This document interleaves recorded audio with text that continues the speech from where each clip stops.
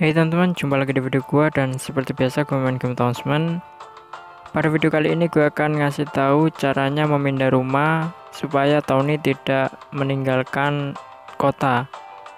Jadi pada game Townsman ini ketika kalian mau memindah bangunan kalian nggak bisa langsung pencet lalu geser ke tempat yang kalian inginkan. Jadi nggak seperti itu ya.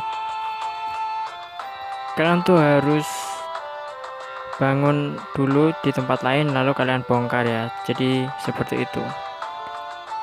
Oke misalnya di sini kalian pengen memindah di sini kalian pengen memindah ini ya menara api. Kalian nggak bisa langsung mencet lalu geser karena di sini nggak ada fitur seperti itu ya. Caranya kalian bangun lagi seperti ini. Nah kalian bangun ya di tempat yang kalian inginkan ya misalnya di sini ya. Kalian bangun ya. Setelah nanti ini jadi kalian bongkar yang ini.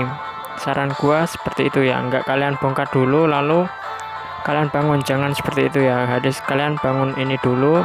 Setelah jadi lalu kalian bongkar ya. Kalau kalian bongkar dulu lalu kalian bangun yang ini nanti akan kelamaan ya. Kecuali bangunnya kalian pakai mahkota itu cepet ya. Kalau kalian bangunnya pakai mahkota bisa kalian hancurin dulu lalu bangun ya karena instan. Kalau kalian bangunnya manual seperti ini kalian nggak boleh ngancurin ini dulu ya karena nanti pas pada saat proses pembangunan itu nggak ada ini menara api udah kalian bangun otomatis nggak ada nanti kalau ada kebakaran.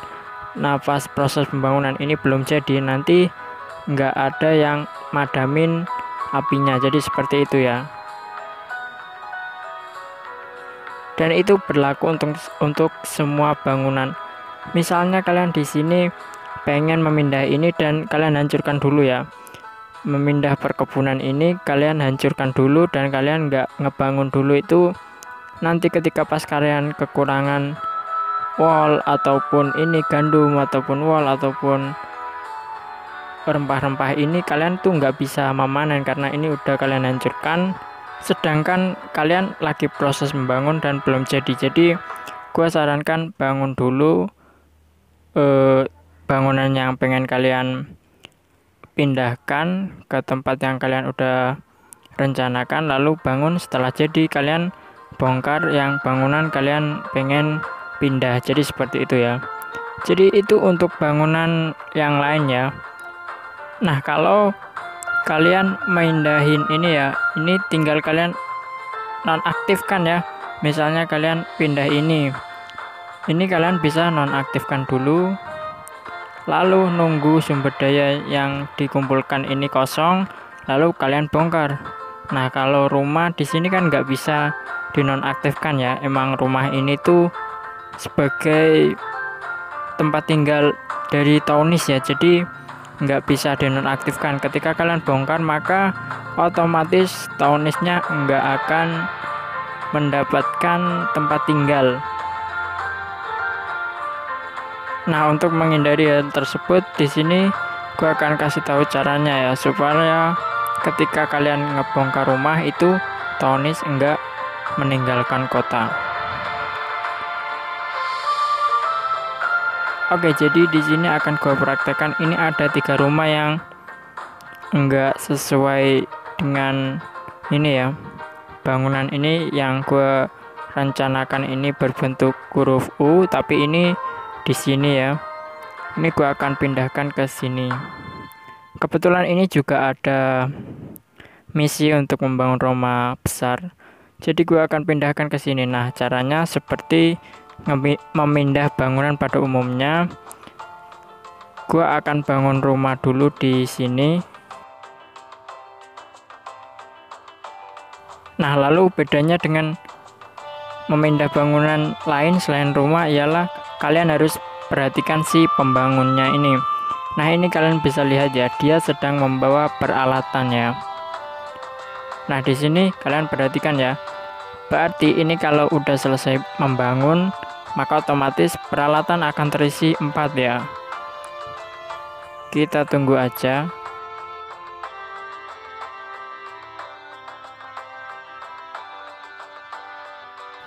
Nah, ini udah proses pembangunan. Ini kita lihat ini udah terisi 4 ya. Nah, nanti kalau udah terisi semua, nah tinggal satu misalnya ini habis ini dia dia mengangkut balok kayu. Nah setelah itu mengangkut batu dan seterusnya kayu misalnya ini ya. Nah kalau udah keempat ini terisi lalu kurang satu ya. Kurang satu ini nanti ini akan ada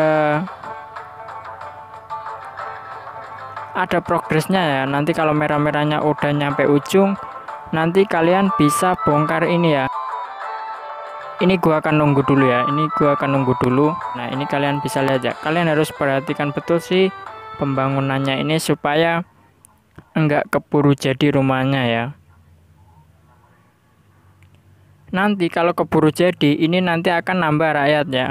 Dan ketika kalian bongkar yang ini ini udah nambah rakyat otomatis nanti akan tonisnya meninggalkan kota ya. Meskipun meskipun itu bisa tetap ya rakyatnya tapi bisa meninggalkan kota. Itu mempengaruhi pada kebahagiaan. Kita lihat lagi dan ini mengambil batu ya.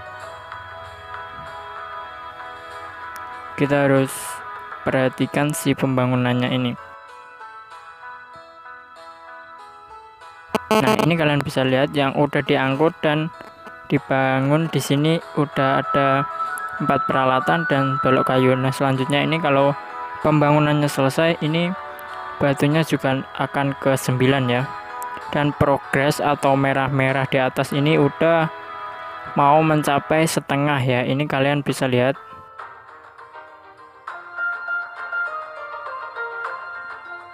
Nah, ini sudah.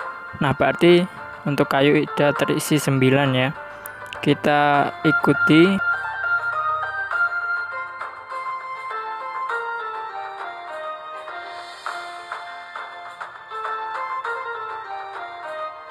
nah ini dia bawa kayu ya ke tempat pembangunan. Nanti kalau udah ditaruh dan dibangun otomatis kayu ini akan terisi 17 ya. Jadi untuk pembangunannya kurang mengambil dari teller ini ya.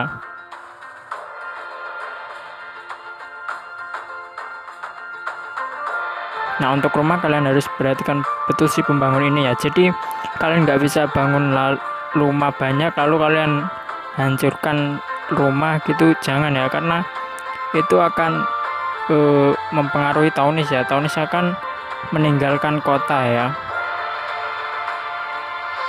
Ini dan dan ini yang terakhir ya pengambilan sumber daya yang terakhir. Ini teller ya ini kalian bisa lihat di peti perhiasan ini ya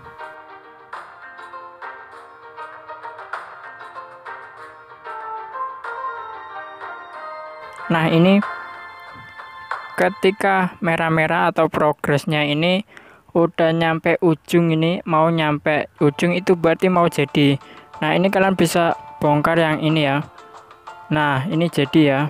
Jadi seperti itu ya. Ketika progresnya mau jadi kurang sedikit, kalian bongkar yang ini ya. Dan ini rumah gue kebakar ya. Jadi ini sedang ada kebakaran di rumah gue.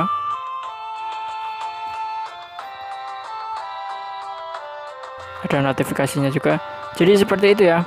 Ketika pembangunan tadi ada sumber daya yang diangkut nah nanti kalau udah semua kurang satu sumber daya sumber daya terakhir kalian harus perhatikan betul setelah progres atau merah-merah atas tadi mau nyampe penuh itu artinya mau jadi ya rumah dan ketika mau jadi kalian harus bongkar yang bangunan yang ingin kalian pindah jadi seperti itu ya untuk menghindari Taunis meninggalkan kota ketika kalian memindah rumah atau membongkar rumah.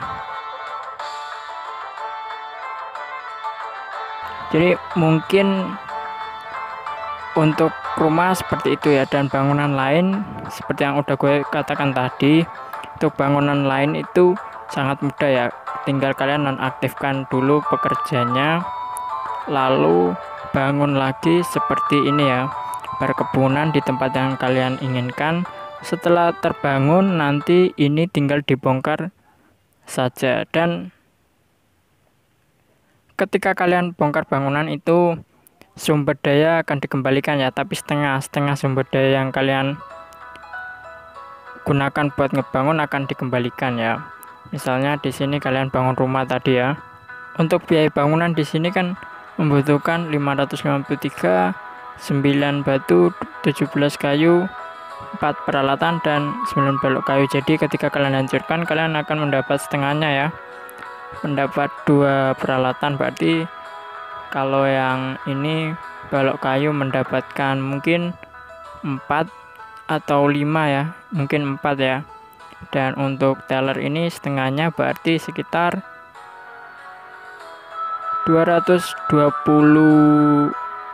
222an ya atau 221 dan untuk ini mungkin sekitar sekitar delapanan ya. Atau mungkin nanti kalian bisa estimasikan sendiri ya. Dan mungkin untuk video kali ini cukup sampai di sini ya. Terima kasih udah nonton video gua. Terima kasih udah support channel gua dan sampai jumpa di video selanjutnya